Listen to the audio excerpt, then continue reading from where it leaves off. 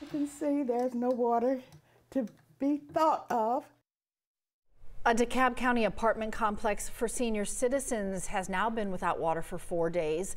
The people who live there are upset and they're reaching out to 11 Alive hoping for some answers. Residents at the Magnolia Circle Apartments in Decatur say not only do they not have water, they feel management is keeping them in the dark about what's happening.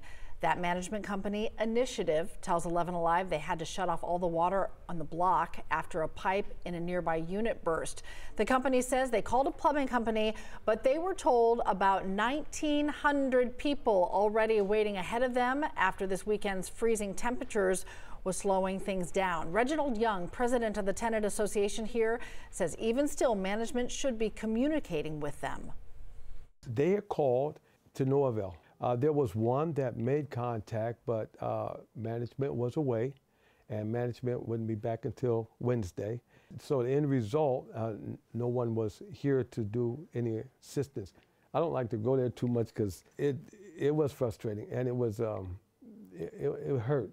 It hurt. It angered me just at their wits end. They're just asking for some essentials here. 11 Alive also reached out to DeKalb Watershed Management. The agency said there was a water main break in the area, but it was fixed Tuesday afternoon. The particular issue will have to be fixed by a plumber as the pipes burst inside an apartment.